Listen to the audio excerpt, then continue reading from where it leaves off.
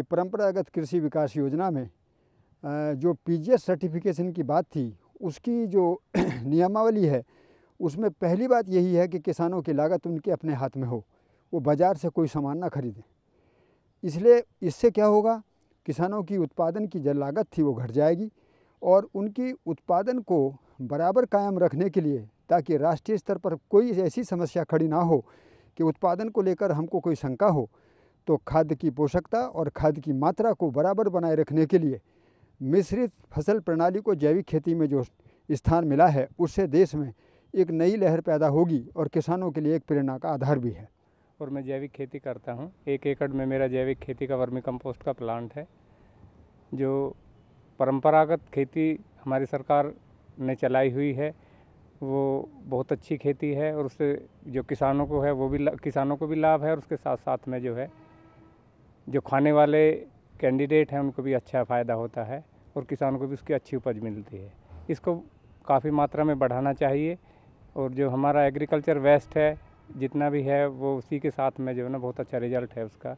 उसकी भी जो कंपोस्ट अच्छी होती है और उसको बढ़ावा मिलना चाहिए। जो हमारी केंद्र सरकार ने योजना निकाली है, उसको हमारी राज्य सरकार के माध्यम से जो है ना, डेवलपमेंट करना चाहिए उसका, जिससे हमारे किसानों को भी लाभ हो और आने वाले जितनी भी हमारी अगली पीढ़ी हैं उनके लिए भी अच्छा स्वास्थ्य का भोजन मिले और हमारा जो जल है वो भी, हमारा जल भी खेती में बहुत अच्छा लगे। परंपरागत कृषि विकास योजना जो है, ये बहुत ही विस्तृत और बहुत ही विराट योजना है।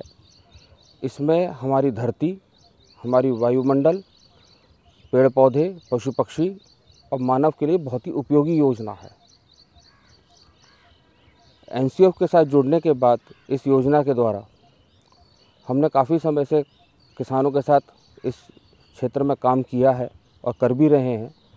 इसका किसान को बहुत ही अच्छे, लाभदायक, आर्थिक और सामाजिक लाभ प्राप्त हो रहे हैं। हमारे यहाँ पर प्रतिदिन 150 टन गोबर एकत्र होता था, जिसका निस्तारण हमारे लिए पूर्व समय में एक विकट समस्या थी। इसका निस्तारण के लिए हमें एक बहुत सही, सरल उपाय मिला है। एन के द्वारा बनाया गया एक अपशिष्ट अपघटक जिसके द्वारा हम बहुत ही कम समय में अपने गोबर को बहुत अच्छे से डिकम्पोज करके किसानों के लिए बहुत लाभदायक रूप में उसको बना पा रहे हैं। हमारे पास थर्टी एट थाउज़ेंड का गायें हैं, जिससे हमें प्रतिदिन पंद्रह सौ टन का गोबर उत्पाद होता है। ये इस गोबर को यूज़ करना या डिस्पोज करना हमारे लिए बीते समय एक बहुत बड़ी समस्या थी।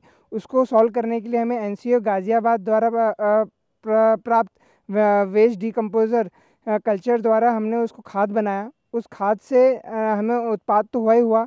साथ ही साथ P P K V Y परंपरागत कृषि विकास योजना के अंतर्गत किसानों को उसी खाद को यूज़ करने के लिए बीस हज़ार रुपये प्रति एकड़ के हिसाब से जो अनुदान मिलता है तीन साल के लिए, उससे किसानों में प्रोत्साहन बढ़ा कि वो उसी गोबर खाद को यूज़ करके या ऑर्गेनिक मैन्योर का यूज़ करके हमारी खाद लें और उससे लाभान्वित हो।